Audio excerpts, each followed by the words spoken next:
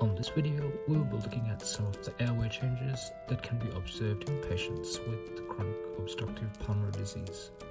We first start with the trachea here, and we will be looking at the extra thoracic portion here where the tracheal contour is normal.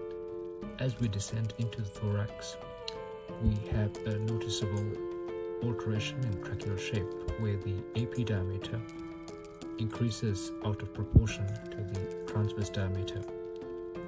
This pattern is called a saber sheath trachea.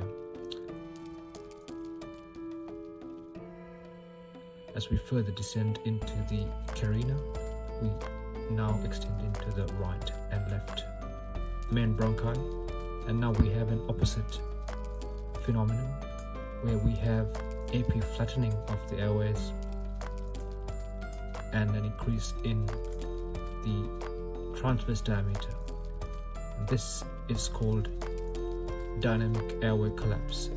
Both of these features can occur simultaneously at different areas.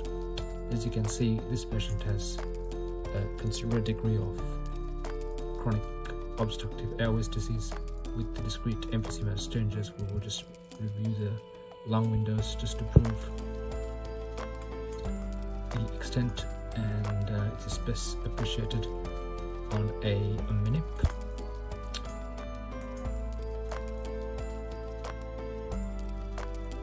where the emphysematous changes become much more manifested.